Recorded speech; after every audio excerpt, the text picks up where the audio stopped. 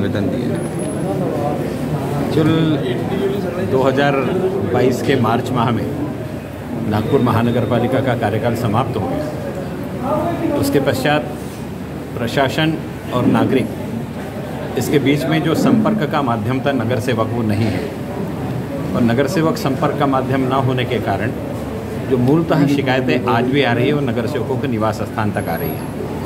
और नगर सेवकों की सूचना देने के बाद भी अगर कार्रवाई नहीं होती है, विलंब से होती है तो उसका असर प्रशासनिक सेवाओं पर पड़ता है। तो जो कुछ भी पत्र महानगर पालिका को कार्य करने के लिए नगर सेवकों ने गत एक वर्ष में दिए, वे कार्य प्रलंबित है, उसकी जानकारी माननीय आयुक्त महोदय को दी गई। साथ ही साथ में सफ़ाई की व्यवस्था हो या इस बारिश के समय में फॉगिंग की व्यवस्था हो या फिर किसी न किसी प्रकार से फवारनी की व्यवस्था हो, इसकी मॉनिटरिंग करने के लिए भी नगर सेवक एक माध्यम होता था और नागरिकों की शिकायत वहाँ तक पहुँचती थी। कारण सामान्य नागरिकों के पास में अधिकारियों के फ़ोन नंबर नहीं होते। शहर में जिस समय आज का जो पीरियड है, इसी समय डेंगू बड़े प्रमाण में फैलता है। इसलिए इस यंत्रणा को भी सशक्त करने के लिए नगर सेवकों ने कहा है। मूल रूप से प्रभागों के अंतर्गत जो लाइनें होती है, वो शिवर लाइन के मेंटेनेंस के काम जो होते हैं, वो नगर सेवकों के माध्यम से सामने आते थे अब वो यंत्रणा ना होने के कारण ऐसे कोई भी काम है तो प्रलंबित हो रहे हैं। इसलिए सीवरेज एक मेजर प्रॉब्लम है।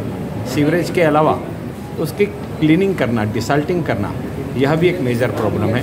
शहर में, चूँकि इसकी गाड़ियों की संख्या कम है, पिछले आयुक्त ने चार गाड़ी खरीदने के लिए कहा था, लेकिन वो कार्रवाई नहीं हुई। इसलिए त्वरित वह भी कार्रवाई होनी चाहिए।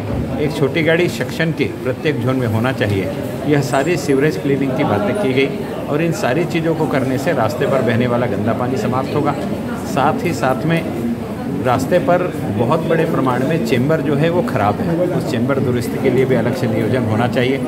इसलिए 50 करोड़ का पुनर्नियोजन बजट में करके प्रत्येक जोन में पाँच पाँच करोड़ रुपए सीवरेज के लिए और चेंबर दुरुस्ती के लिए देना चाहिए जिससे त्वरित यह काम हो सके। इस प्रकार का निवेदन माननीय आयुक्त महोदय को किया गया। आयुक्त महोदय ने सभी बातों को सकारात्मक सुना।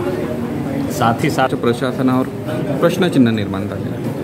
निश्चितच गेल्या दीड वर्षापासून महानगरपालिकेत नगरसेवकांचा कार्यकाळ संपल्यामुळे प्रशासकांचं राज्य आलेलं आहे. आणि या दीड वर्षाच्या कार्यकाळात अनेक समस्या मोठ्या प्रमाणात बाहेर आलेल्या आहे यात विशेष करून ज्या गडरलाईनच्या समस्या आहे ह्या प्रत्येक भागात निर्माण झालेल्या आहे शहरात गार्डन विभाग जो आहे तो अत्यंत उदासीन आहे.